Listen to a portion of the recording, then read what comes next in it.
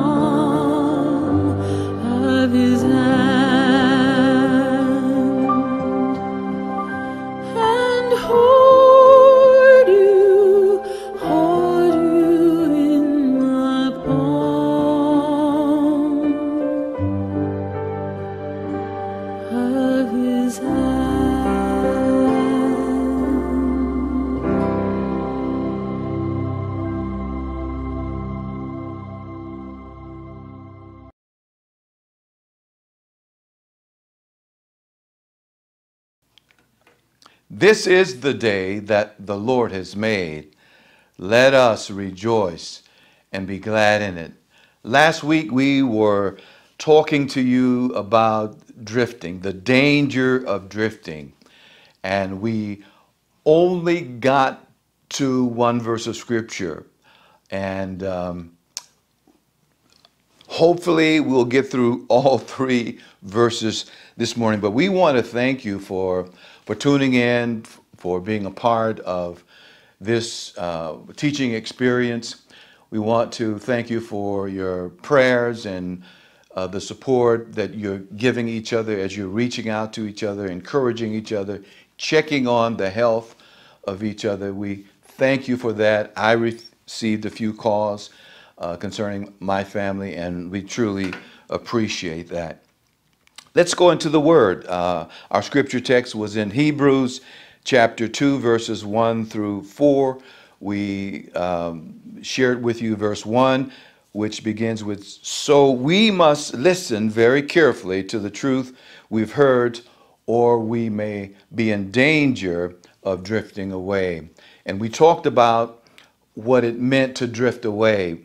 Uh, we shared with you on that last week. You may view your your uh, your notes from last week. And uh, today we're coming to you with verse number two. I'll read verse two, three, and four. For the message God delivered through angels has always stood firm, and every violation of the law and every act of disobedience was punished. Verse 3 So, what makes us think we can escape if we ignore this great salvation that was announced first by the Lord Jesus Himself and then delivered to us by those who heard Him speak, that shared the message of hope with us? And God, verse 4, confirmed the message by giving signs and wonders and various miracles and gifts of the Holy Spirit whenever He chose. Mark that whenever He chose, whenever the Holy Spirit chose to um, confirm the word through signs and wonders. Uh, verse 2 For the message God delivered through angels has always stood firm, and every violation of the law and every act of disobedience was punished under the Old Testament. The writer, which some theologians believe that it is Paul, others uh, think not, but I will refer to as Paul. He is encouraging the Jewish believers to be steadfast in their relationship with Christ. They were being pressured to return to Judaism uh, by some of their friends and some of the other people who they were associated with to leave this relationship that they've developed through Jesus Christ, through his death, burial, and resurrection. And the temptation to return was great because they were at a place in life that they had never been before. They were being persecuted. And it wasn't a joyful experience uh, because they were suffering because of the gospel of Jesus Christ. What they didn't realize and what they didn't comprehend is what Paul had told them in Romans chapter 8, verse 18. Paul informed the believers there, he says, Consider that our present sufferings are not worth comparing with the glory that shall be revealed in us. I don't know if many of you have really experienced some of God's glory. I tell you, when you have confessed and um, repented remorsefully of your sins and invited the Lord Jesus Christ into your life, your burdens are lifted. The Spirit of God comes in and indwells within your heart and your soul. That is a part of some of the glory that we experience as we are redeemed by Jesus' blood. We confess with our mouth, we believe in our hearts, we confess that Jesus is Lord, and at that moment of confession, we're sealed by the Spirit of God. And what a feeling, what a relief, and a release that we receive when we have that confession of faith. He reminds them to never disregard the truth that has been revealed in the Old Testament by angels, uh, angelic visitations, prophets, and the scriptures, which at times had eternal consequences. Remember the story of Lot when the angels visited him to get his family out of Sodom and his wife turned and looked back when they were instructed to not look back, to go, to leave immediately, and she turned and looked back, and as a result of her disobedience, she was turned into a pillar of salt. There are consequences that occur when we disregard the word of truth, the word that is spoken and revealed to us. 2 Timothy chapter 3 verse 16 and 17 says in the New Living Translation, all scripture is inspired by God and is useful to teach us what is true and to make us realize what is wrong in our lives. The Holy Spirit uses the Word of God to reveal to us what is true. It corrects us when we are wrong and teaches us to do what is right. I'm so glad that the Holy Spirit is our teacher. He is the one to lead us and to guide us into all truth.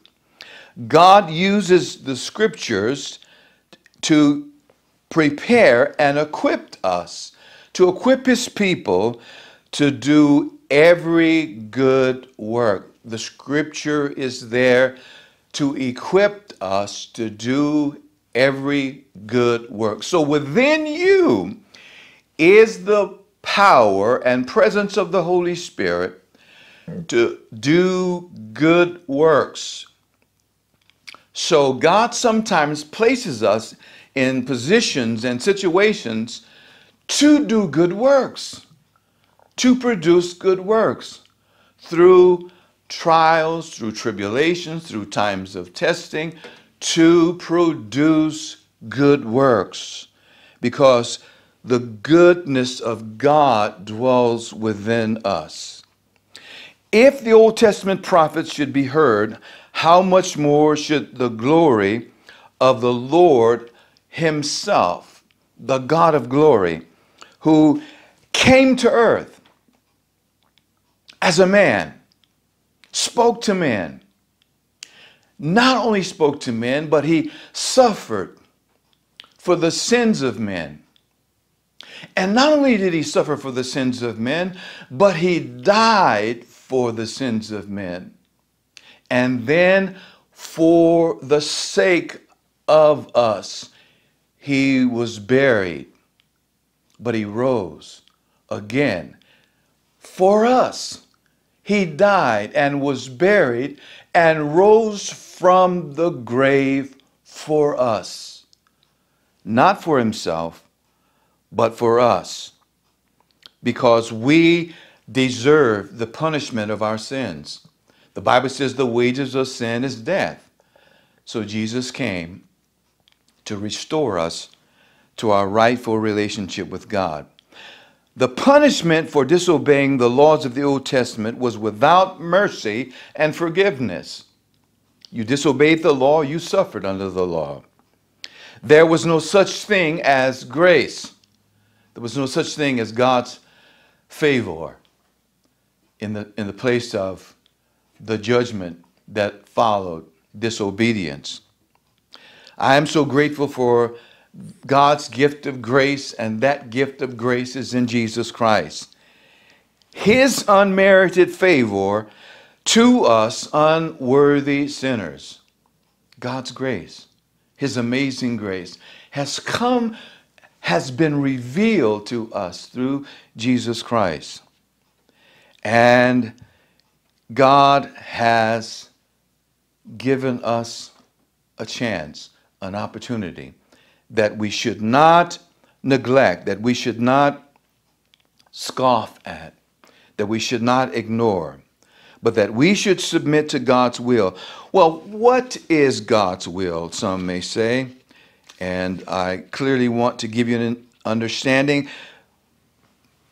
Peter chapter 2, 2 Peter 3 and 9 says, The Lord is not slack concerning his promises, as some count slackness, but is long suffering toward us, not willing. This is the will of God. He is not willing that any should perish, but that all should come and submit their lives to him and have fellowship with him through repentance. That is the will of God, that no one perish. He takes no pleasure in the death of anyone. That was not his will. That was our choice. My brothers and sisters, his word is so powerful that all he has done is to sustain us by his word. We're sustained by the word of God. The Son of God, Jesus, provided purification for all of our sins and has taken his seat at the right hand of God because his work is done. He awaits the day when the redeemed will join him. And I am so glad that we have the promise of being able to join the Lord, that he will meet us and we'll meet him in the air. What a promise. His presence, his everlasting presence, is what we long for, it's what we hope for, is what we desire to be in the presence of God. The lamb that was slain before the foundation of, of the earth. God has given us an opportunity to be present with him.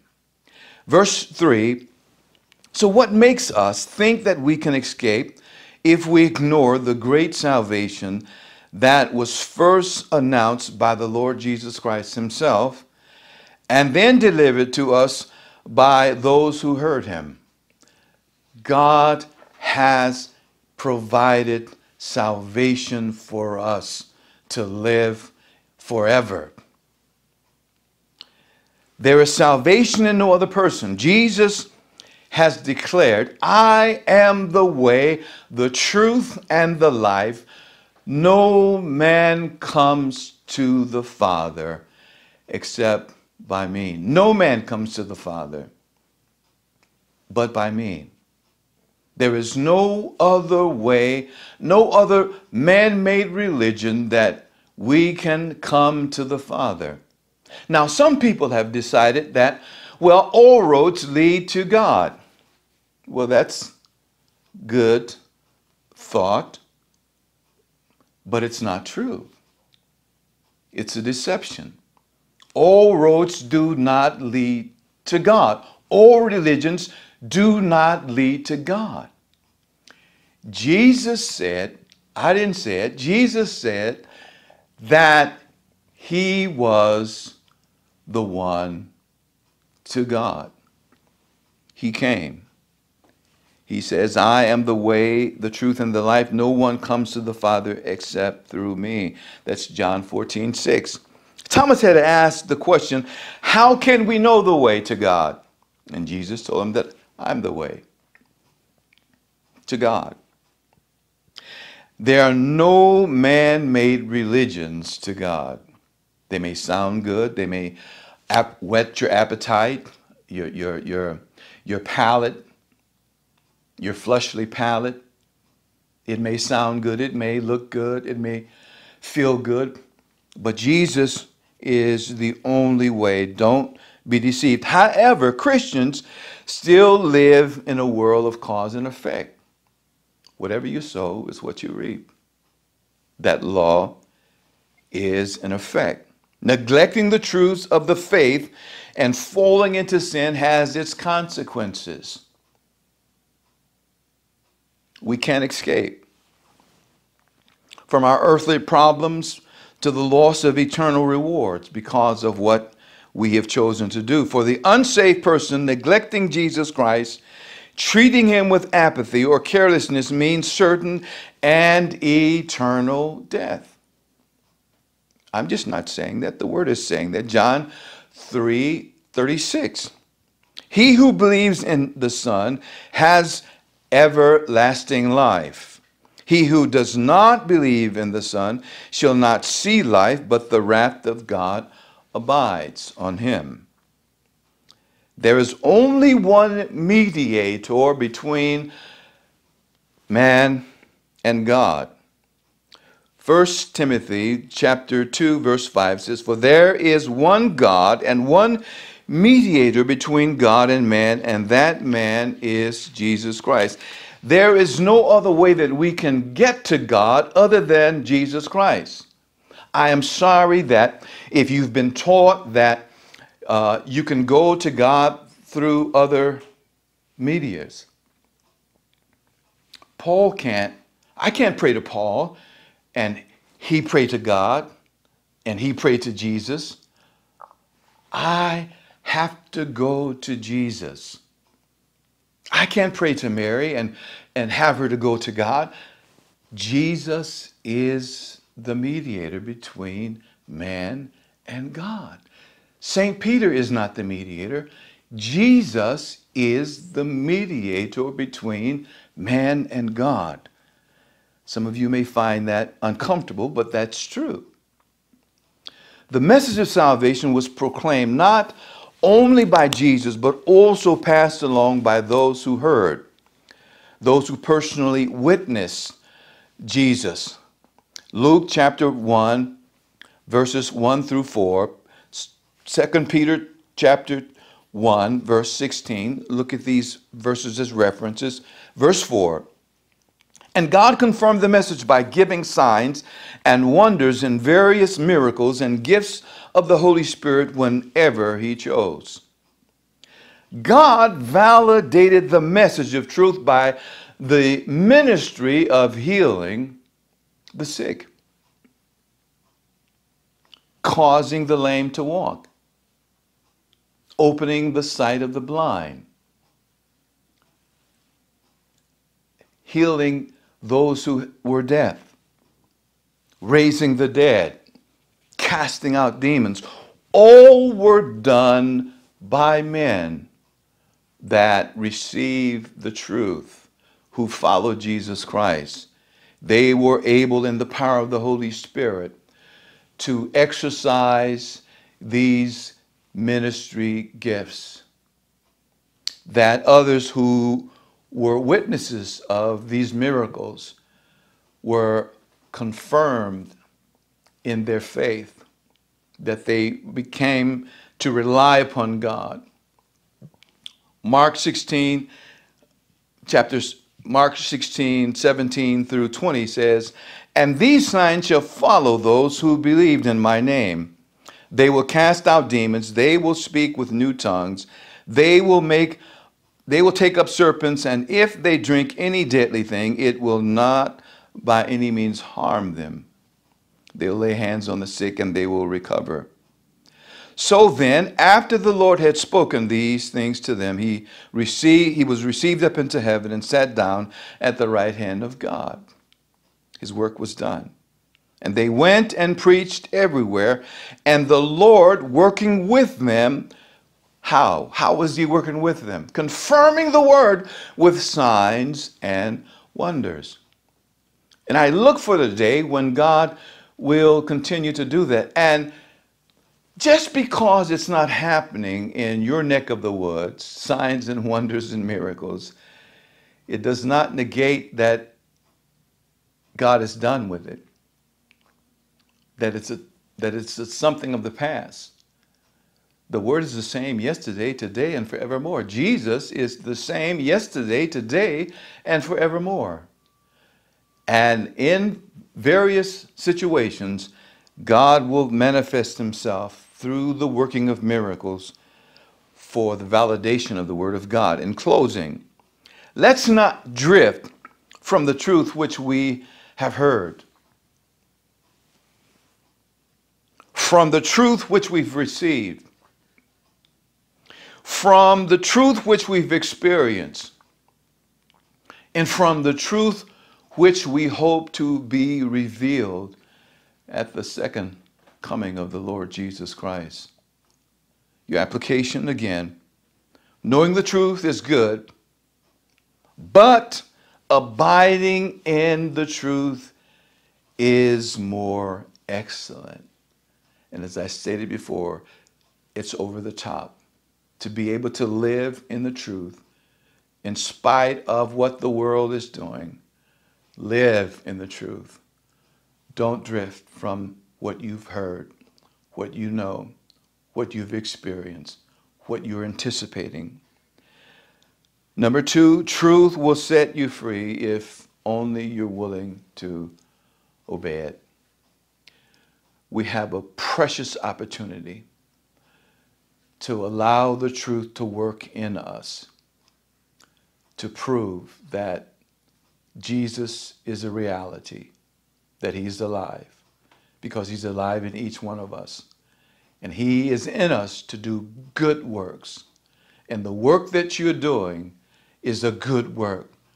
Don't minimize the work that you're doing to introduce people to Jesus Christ. I would rather suffer all things for the sake of the kingdom of God. It's temporary it's temporary. Whatever you're suffering is momentary. There is nothing in this world compared to the glory that will be revealed in us when the day arrives, when we meet the Lord. God bless you, love you, praying for you, and be encouraged to know that He is with you always, even unto the end of the age. Until we meet again, I love you. I miss you. Let's pray. Eternal God, our Father, we pray for the sweet communion of the Holy Spirit to rest upon your people. And as we keep the faith, Lord, have your way in our lives. Amen.